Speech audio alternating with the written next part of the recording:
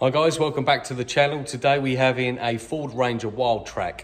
This is a 2021 plate and it's coming for a few upgrades. So let me run you through what we've just done and show you how cool these things are.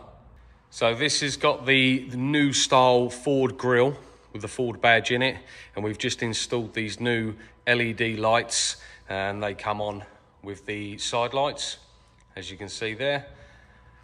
This is a nice little upgrade for the front end.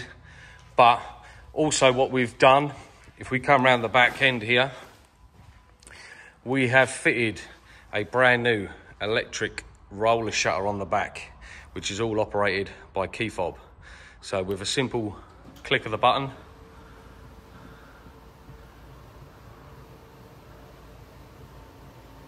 you can see it just closes and that gives you a nice sleek look at the back there. And then when you want to open it simple click of the button.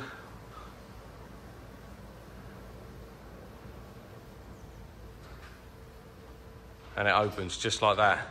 This product is from a company called DST Automotive.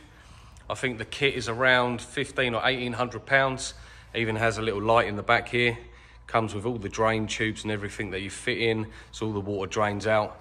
And this is just a cool thing to fit onto your truck if you're into this sort of thing.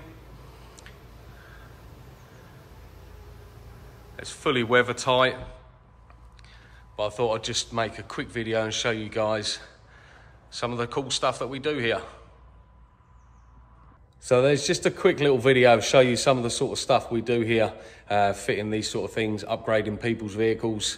And to be cool, to be fair, it's a pretty cool thing. A bit of a gadget, but I like my gadgets. So I'll see you in the next video.